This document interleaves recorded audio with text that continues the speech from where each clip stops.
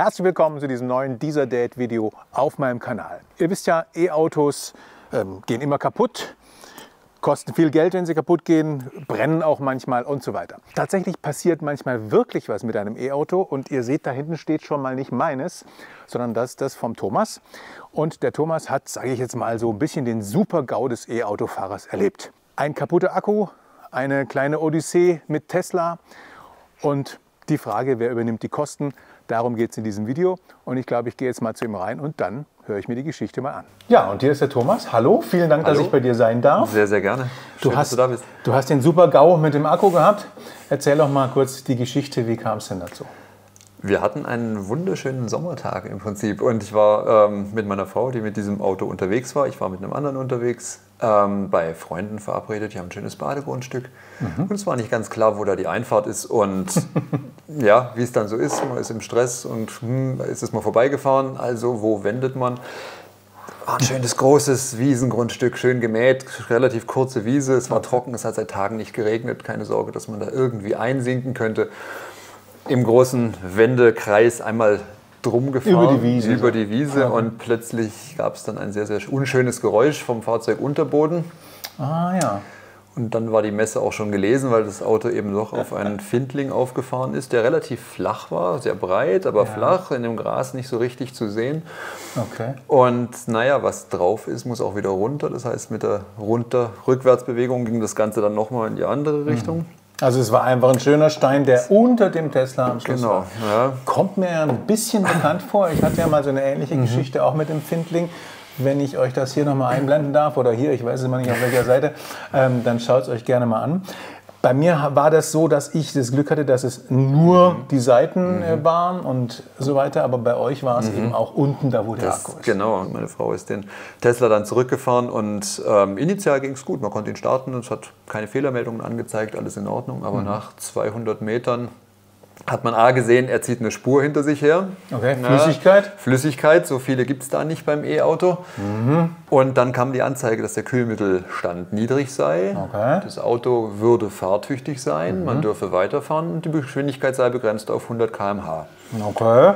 Das Ganze ging noch, naja, zehn Minuten Immerhin. gut, ja.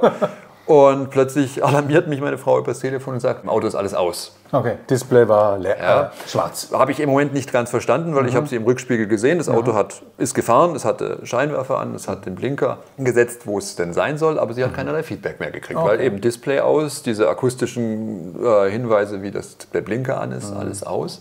Und dann haben wir uns entschieden, gut, ich glaube, das Auto möchte uns sagen, es will nicht mehr und wir stellen es ab.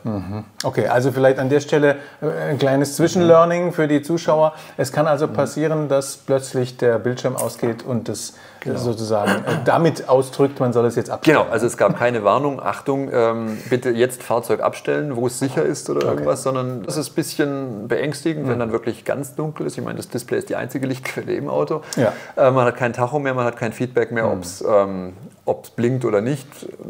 Ja. Okay. Also du hattest jetzt ein kaputtes Auto und es war jetzt auch klar, dass es kaputt ist Ja. und man soll es nicht mehr fahren. Jetzt ist natürlich bei einem Tesla immer die Frage, was mache ich damit? Mhm. Wie komme ich da wohin? Jetzt, wenn ich das mal einfügen darf, wir wohnen hier beide am Bodensee. Das Mhm. heißt, wir haben ein spezielles Problem, was andere nicht haben. Unsere nächstgelegenen Service Center sind in der Schweiz. Mhm. Das hat natürlich große Schwierigkeiten, Verzollung Mhm. und man kriegt keinen Ersatzwagen und alles Mögliche. Insofern hast du wahrscheinlich was anderes gemacht, als an der Schweiz Genau. dich zu orientieren. Ja, genau. Das war natürlich, wenn die Tesla-App ähm, den Standort ermittelt, schlägt sie das nächste Service Center vor. Das wäre eben von uns aus gar nicht sehr weit, aber Mhm. eben auf Schweizer Seite. Und da wir ja schon davon ausgingen, das wird äh, ein Versicherungsschaden und wahrscheinlich kein billiger, Mhm. ähm, gesagt, die Versicherung wird uns nicht loben dafür, dass wir es irgendwie ins Ausland schleppen. Mhm. Ja. Von daher erster Kontakt, ja, zu Tesla, aber auch die Information von Tesla, die am Wochenende nur auf Englisch zu erreichen war, Mhm. ging gut, kein Problem. Die sehr nett, sehr kompetent, konnten uns aber auch nur sagen, dass sie unser Fahrzeug nicht mehr kontaktieren können, dass keine Verbindung mehr da ist und dass die letzte Information, die Sie haben aus dem Logfile, ist, dass das Fahrzeug in den sogenannten Limp-Mode geht. Das heißt, wohl dieser reduzierte Betrieb mit maximal 100 km/h. Vielleicht können, können wir mal uns ein paar Bilder anschauen, wie das ausgesehen hat, das Auto. Ah, okay, schon auch am Stoßfänger äh, Schäden. Genau, da hat man auch gesehen, dass vorne dieser Stein so ein bisschen Kontakt hatte. Man hat gesehen, eben vor der Bodenplatte von der Batterie, dass man doch eine relativ große Delle Ja. hat. Ähm, man hat gesehen, es hängen Tropfen am Boden. Man hat eine kleine Pfütze gesehen. Okay. Und man hat, und das tat mir tatsächlich in dem Moment mehr weh als diese große Delle, eine ganz kleine im Bereich von dieser Bodenplatte gesehen, Mhm. hinten, was ja die Batterie im Prinzip ist. Und äh, Karosserie sonst? Man hat an der Seite der Schwelle auf der Fahrerseite, Mhm. ne, das ist diese schwarze, was man da sieht, doch sehr stark in Mitleidenschaft gezogen, verkratzt. Alles stabil, nichts, wo man das Gefühl Mhm. hat, es fällt ab. Aber ja, das Fahrzeug war halt auch gerade mal ein halbes Jahr alt in dem Moment. Ne? Okay. Mhm. Das tat weh. Du hast gerade ein Bild gezeigt, wie er dann transportiert wird. Ich würde sagen, die Geschichte mit dem Transport, die kürzt man ein bisschen ab. Vielleicht als kleiner Hinweis, wenn man bei einem der größten äh, Automobilclubs Automobilclubs ist, dann lohnt sich in dem Fall die Premium Supergold Platin Mitgliedschaft, weil man sonst nicht weiter als 20 Kilometer vom Unfallort wegkommt. Abgeschleppt wird, genau. Und das ist jetzt für Tesla-Fahrer meistens zu wenig. So ist es. Na? Ja. Du hast dann aber auch mit, mit gutem, äh, ja, guten Kontakt zu Tesla, muss man sagen. Muss man sagen, also der Kontakt mit dem Service Center über App dann hat tatsächlich extrem gut funktioniert. Ich kommuniziere nur über die App, aber bei jeder Rückfrage unsererseits kam ein Anruf, kam eine ähm, sofortige Antwort. Also das muss man sagen, lief sehr, sehr gut. Und ihr habt es vermutlich auch der Versicherung relativ bald gemeldet, wie man das machen muss. Ne? Weil es ist ja schon klar, das ist Genau. ein Vollkaskoschaden und der wird äh, eher genau. teuer. Die haben auch gesagt, ihr könnt es äh, nach Freiburg dahin bringen. Ja, genau. Das war die Frage, holt euch euren Kostenvoranschlag, reicht den ein, das übliche Prozedere. Ne? Und den haben die dann in Freiburg auch euch. Den haben die gemacht, das ging auch zügig stand tatsächlich. da drauf? Ja, die Summe, die sie mal veranschlagt hatten, waren 13.000 Ungrad. Allein 10.000 davon der Akku. Ne? Bei der Versicherungssumme oder bei dem Schaden schaltet sich ein Gutachter ein. So auch bei uns hat ein bisschen gedauert, weil der ein paar Tage gebraucht hat, bis er da war. In der Zeit ging es natürlich nicht weiter mit dem Reparaturprozess. Ähm, der hat es sich auch nochmal angeschaut, hat diese Summe sozusagen bestätigt. Die haben dann diesen Schaden repariert. Das hat bestimmt sehr, sehr lange gedauert, bis da eine Batterie da Ja, war, genau. oder? Teilemangel und allem. Und was man uns gesagt hat, einen Monat wird es schon dauern, bis dieser Akku da ist. Mhm. Als dann die Freigabe unsererseits kam, die Freigabe von der Versicherung, ihr dürft ihn bestellen, Mhm. war die Frage nochmal, wie lange dauert es? Ja, meldet euch in drei Tagen nochmal, dann können wir es euch sagen. Mhm. In drei Tagen wieder über die App alles gemeldet. Dann kam die Rückmeldung, ja, der ist schon da. Aber es ist Entschuldigung, wir haben ihn noch nicht eingebaut. Mhm. Ja, das klingt natürlich gut. Okay. Ja, also positiv überrascht, dass es in dem Fall doch wirklich schnell ging und nach drei Tagen weiter war er eingebaut. Das heißt, wann war der Unfall? Wann war das Auto wieder fahrtüchtig? Mhm, war das letzte Sommerferienwochenende hier in Baden-Württemberg, also am 8. September 23 ist der Unfall gewesen. Fahrbereit tatsächlich, eben Gutachten, Versicherungsfreigabe, das hat es am meisten verzögert, war er dann wieder Ende Oktober. Also So sechs sechs, Wochen. Wochen, ungefähr. Ja. Aber er war noch nicht ganz fertig. Genau, jetzt Weil? haben wir natürlich die Schönheitspflege noch, ne? dieser kaputte Schweller an der Frontschürze und alles. Das haben die nicht gemacht in Freiburg. Das ist das, was ich am Anfang nicht wusste. Ne? Ich wusste klar, Tesla Service Center, da bringe ich ihn hin, ist vielleicht nicht in der Nähe, aber Tesla Service Center kann alles. Ja, und dann kam da die Aufklärung, nein, wir machen die Technik und alles, was drumherum ist, Karosserie, muss ans Tesla Approved, an den Tesla Approved Body Shop. ja, ja. Heißt, wir brauchen einen Zweittermin, irgendwo anders. Aber das Auto konnte wenigstens wieder Das Auto konnte fahren, wir konnten es einsetzen, das waren in dem Fall die kosmetischen Schäden. Okay. Und dann wart ihr bei Stegmann, die ihr ja auch aus meinen Videos kennt. Die Annahme, das ging zügig, ja, vorbeigefahren, das Auto begutachtet und nochmal einen neuen Kostenvoranschlag natürlich geholt und dann äh, doch ein bisschen Bauchweh gehabt, weil natürlich die zusätzlichen Kosten vom Bodyshop zu dem, was ja schon ausgegeben war, das überstiegen haben, was der Gutachter begutachtet hat. Der Gutachter hat nämlich mit einem Stundensatz, haltet euch fest, gerechnet von, 90 Euro. ja, also mit 90 erreicht man wenig. Wie hoch ist er bei Tesla? Ich meine, bei Tesla waren es um die 140 Euro. Ich meine, bei der Firma Stegmann, ich mag niemandem Falsches sagen, um die 180. Könnte sein. Ja. Das heißt natürlich, da ist eine ordentliche Unterdeckung. Und die Firma Stegmann hat sich tatsächlich selbst an die Versicherung gewendet. Das hat ein bisschen gebraucht. Ich glaube, das Thema E-Autos ist bei der Versicherung noch so ein bisschen was ein heißes Eisen. Man ist es nicht gewohnt, es braucht ein bisschen Zeit. Auf mehrfaches Nachfragen wurde es dann aber freigegeben und auch der Schaden ist behoben mittlerweile. Da war ich, vielleicht würde ich das überraschen, zeige ich dir jetzt mal gleich die Bilder, nämlich sogar schon da. Ich habe dein Auto früher gesehen als du, ja. Ich bin sogar schon drunter durchgelaufen. Ähm, ich zeige euch mal kurz, wie ich den Dennis mit deinem Auto besucht habe. Und ich bin jetzt beim Dennis bei Stegmann und hallo, Und das Tolle ist, ich darf noch vor dem Besitzer das Auto anschauen. Was macht ihr gerade im Moment? Also aktuell sind wir noch an der Stoßstangenreparatur dran. Gell? Also da war ja noch ein bisschen mehr kaputt wie nur der Akku, sondern wir haben auch die Stoßstange noch zur Reparatur, beziehungsweise die Blende des Seitenstellers links. Mhm. Und dafür ist das Auto heute und morgen da. Den Akku habt ihr gar nicht repariert, gell? Nein. Und, aber Tesla hat den auch nicht repariert, sondern was haben die gemacht? Ausgetauscht, genau. Gab ein neues Bauteil. Okay. Wird das automatisch gemacht? Man liest ja immer diese Sachen, so irgendwie kleine Kratzer im Akku muss man sofort neu machen oder so? Das hast du schon richtig gelesen. Es gibt bei vielen solche Vorgaben, wo ich mich äh, manchmal selber erschrecke.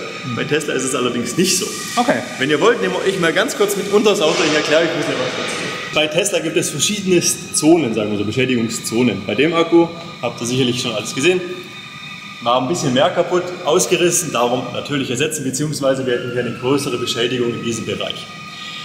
Tesla sagt, in dieser Akkuplatte hier habe ich eine, darf ich eine Deformierung haben von bis zu 7 mm und dann muss der Akku ersetzt werden. Alles, was unter diesen 7 mm Deformierung bzw. Kratzer sind, darf repariert werden. Weil eigentlich der eigentliche Akku praktisch weit genug hinter dieser äh, äh, Platte ist, oder? Genau, ich denke, das haben die Techniker bei Tesla analysiert und wissen, okay, das passt so. Dann haben wir natürlich verschiedene Zonen am Akku. Das heißt, wir haben hier so eine vordere Platte, wir haben hier so diese seitlichen Schienen, da wo das Fahrzeug jetzt auch hochgehoben ist, beziehungsweise wo ihr das Fahrzeug hier hochhebt an den Wagenheberaufnahmen.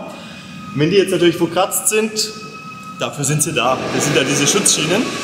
Also es gibt die empfindliche Zone, das sind diese großen Seitenplatten hier. Und wenn die jetzt deformiert sind, dann muss man schauen, wie tief und dann wird es ersetzt. Eigentlich ist es so schlimm gar nicht mit so einem kaputten Akku oder mit einem verkratzten Akku. Wenn jetzt ein Verbrenner oder so ein Findling drüber fährt, ähm, ist das Risiko, dass viel kaputt geht, ist es da auch groß oder kann da auch so viel kaputt hm. gehen? Ist ja die Frage, wo stoppt das Auto? Hm. Wenn ich über den Findling drüber fahre und habe nachher meine Ölwanne kaputt und fahre natürlich weiter, dann wird es teurer, wie wenn ich den Akku nur tausche. Ölwannen. Also du willst sagen, es gibt auch bei Verbrennern empfindliche Teile unten. So schaut's aus. Vielen Dank und wir sehen uns bestimmt bald wieder. Bis bald. Ja, fand ich interessant. Wusstest du wahrscheinlich auch nicht, dass es eine bestimmte Tiefe mhm. äh, einen Kratzer haben darf, ja. damit gar nichts passiert. Aber offensichtlich war es in diesem Fall der Findling 6 mm ja. zu hoch. Ja. Und dadurch musste dann der Akku getauscht mhm. werden, was auch immer damit dann am Ende passiert. Nicht? Ist das teuerste Bauteil. Ne? Und ich meine, das, man hat es gezahlt, man, oder die Versicherung am Ende zahlt es. Und ist natürlich die Frage, war der jetzt so kaputt, dass er nicht nochmal irgendwo mhm. in einem Second Life ähm, eingesetzt wird? Kann eine Versicherung nicht sagen, ich oder wir verkaufen diesen mhm. Akku, um nachher irgendwie die Schadenssummen zu drücken, weil je mehr E-Autos wir haben, desto mehr wird sowas natürlich passieren. Es werden ja. die Versicherungsbeiträge natürlich nicht günstiger werden, wenn das häufiger passiert. Richtig.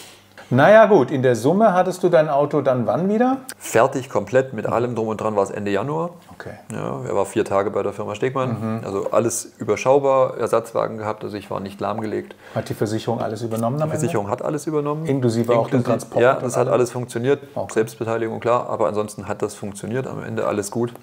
Die Lektion kam ja im Prinzip am Ende. Mhm.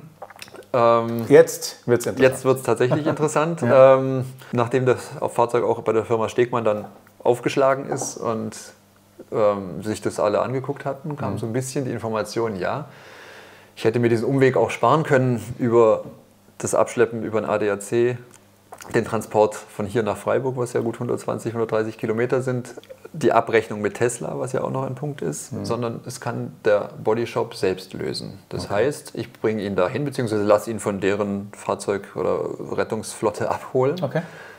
lasse ihn dort so weit versorgen, wie die es können. Mhm. Alles, was sie nicht können bzw. dürfen. Der Akku ist natürlich so eine kritische Struktur, wo Tesla sagt, nein, das machen wir selbst. Mhm. Sie hätten aber auch den Transport von ihrem Standpunkt in, Standort in Bad Dürrheim nach Freiburg selbst übernommen mhm. und auch wieder zurückgeholt. Das heißt, ich hätte am Ende nur einen Ansprechpartner gehabt, ja. hätte mich nicht mit verschiedenen mhm. auseinandersetzen müssen. Und der große Knackpunkt, Tesla arbeitet nicht wie andere Werkstätten mit einer Abtretungserklärung. Mhm. Das heißt, ich kann nicht sagen, holt euch bitte das Geld bei meiner Versicherung und mhm. ich bin fein raus, ja. sondern die bitten den Kunden zur Kasse. Ja, es ist vorgeschossen. Und bei einem Akku ist das hm. Und wie viel war es am Ende, weh. das ganze ja. Paket? Also alles, alles zusammen, was jetzt über die Versicherung lief, waren einen Schaden von knapp 18.000 Euro. Und der Voranschlag waren 13, Der Voranschlag waren 13.500 okay, Euro. Du hast in dem Bereich vorgeleistet. Genau, ja. Also gut, das heißt, ähm, Wir lernen tatsächlich, man hätte sich gleich an den Bodyshop wenden können. Genau. Das hätte natürlich die Versicherung wissen können und äh, einem sagen können. Das hätte man in der App sehen können, äh, die Ja. eigentlich genau dafür da ist. Sieht man aber nicht. Insofern, da gibt es noch ein bisschen Kommunikationsverbesserungsbedarf.